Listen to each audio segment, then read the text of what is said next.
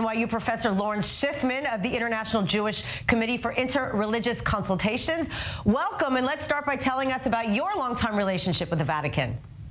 I have the privilege of being a representative to the International Committee, Jewish Committee for Interreligious Consultations, which is known as IJCIC.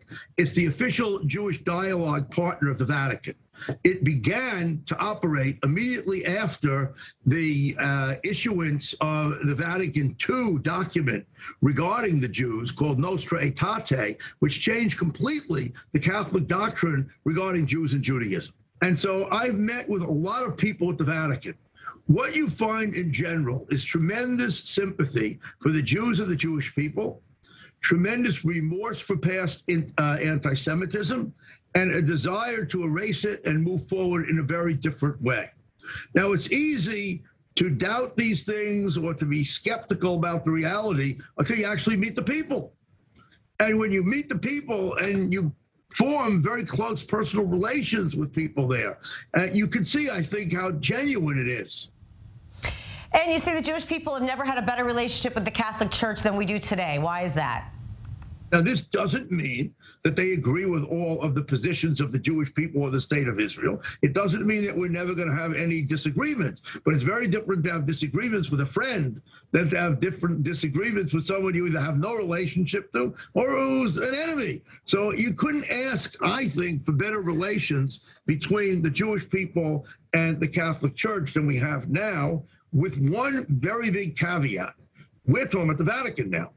We need to remember that, contrary to what a lot of Jews think, the Vatican is not centralized like some kind of communist state. It just doesn't work that way.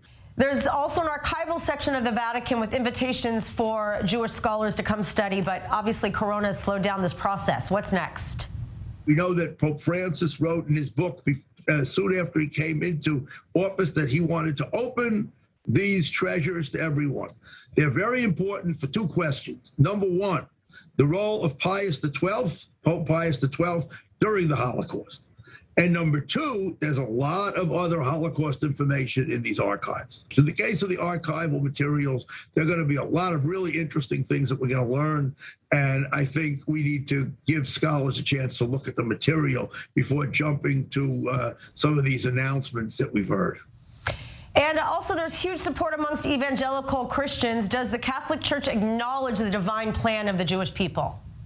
Where the Catholic Church operates in a positive way, besides protesting anti Semitism in general, that kind of thing, is that they are trying to teach their people that the Jews somehow fit into the overall theological world and therefore that they are acceptable and positive. We are living in an atmosphere now where, for most of us, the Christians have turned in many cases into our good friends.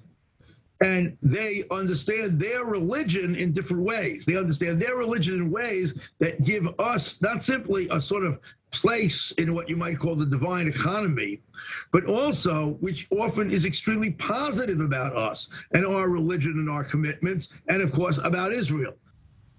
Thank you so much, Professor Schiffman. We're